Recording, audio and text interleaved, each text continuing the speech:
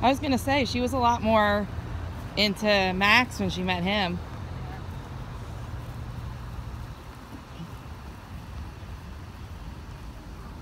you're cute, Matilda.